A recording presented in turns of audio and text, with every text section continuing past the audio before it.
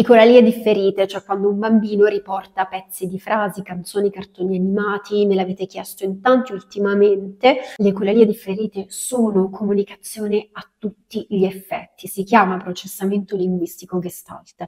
Purtroppo al giorno d'oggi invece ancora spesso le ecolalie vengono erroneamente stoppate, punite, ridirezionate mentre invece è possibile aiutare il bambino a trasformare l'ecolalie, che comunque è una sua modalità comunicativa, in linguaggio funzionale. Immaginate la tragedia nel bloccare la comunicazione di un bambino che già è in difficoltà comunicativa. Ok, vi riporto quindi un estratto di una diretta che ho fatto sulle ecolalie differite. Chi è interessato può andare a guardare direttamente le, il video integrale sul mio canale YouTube. E un saluto. Ok, eh, dicevamo le ecolalie differite sono comunicazione. Mm? Si chiama processamento linguistico gestalt. Eh, è stato studiato la prima volta negli Stati Uniti negli anni 70 mh, mm? ed è nell'ultimo, diciamo, dagli anni 90 in poi mm? che questo si applica proprio nel, il, a livello logopedico nel trattamento delle ecolalie differite. Mm, ok? Quindi il processamento linguistico gestalt che cos'è? È una modalità di acquisizione del linguaggio a tutti gli effetti.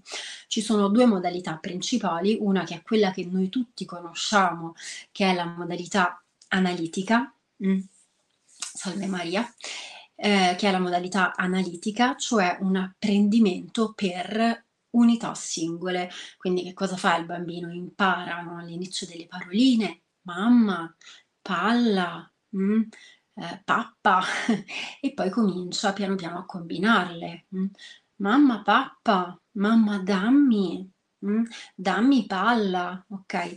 Queste queste micro frasi diventano poi sempre più complesse finché non si arriva proprio a una strutturazione completa del linguaggio e questa è la modalità an- analitica conosciuta ai più. La modalità gestalt è invece diversa, è molto più diffusa di quanto non si creda mh? Mm, e prevede un apprendimento per stringhe, mh, mm, per stringhe linguistiche, che vuol dire che il bambino non apprende paroline singole, ma apprende all'inizio, prende e ripete, memorizza interi pezzi di frase, cui associa un significato, ok? Quindi il, eh, il significato che il bambino associa a quel, e que- quella stringa per il bambino è un'unità di senso unica, come se fosse una parola, però è una frase, ok? Quindi che cosa fa il bambino? Associa il significato di quella frase mh, mm,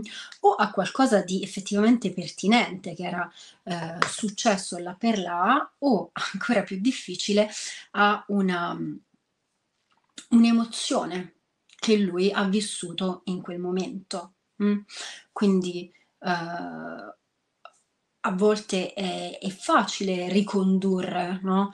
uh, al, al, al significato uh, de- de- della frase, con- conoscendo soprattutto il background dei, dei, bambini. Vi faccio un esempio tipico, proprio tanti bambini che vengono da me, uh, che um, amanti di Bing, no? il cartone Bing, che eh, quando si, si casca un giocattolo, si rompe qualcosa, fanno Oh, Nasuta! Mm? O nonna suta. O nonna suta è un pezzo di Bing in cui la patata con cui Bing stava giocando si rompe. Quindi che cosa succede? Il bambino guarda il cartone, associa a questa stringa comunicativa il concetto di si è rotto e quando qualcosa si rompe, mh, riporta questa stringa. O nonna suta.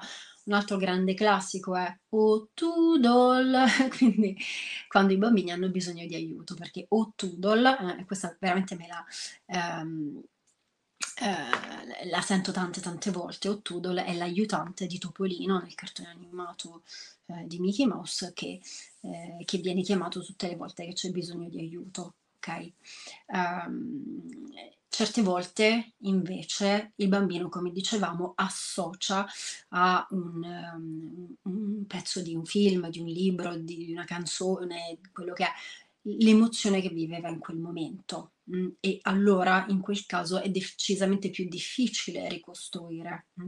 Vi faccio un altro esempio che mi è capitato realmente di un bimbo che si era spaventato guardando Toy Story ed aveva associato a eh, famosa frase verso l'infinito e oltre il senso di ho paura e quindi tutte le volte che aveva paura diceva verso l'infinito e oltre, verso l'infinito e oltre. E ovviamente l'intervento terapeutico, logopedico per quanto riguarda il, il processamento linguistico gestalt è lungo e complesso. Quello che io vi illustro questa sera è, è diciamo il, il, il primo approccio, quello che possono fare i genitori. Mm?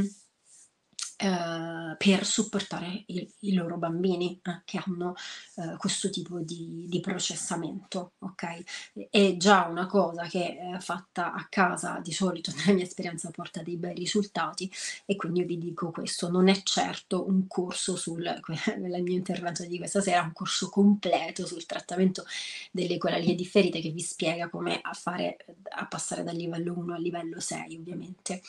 Uh, quindi qual è l'indicazione che viene data? Mm.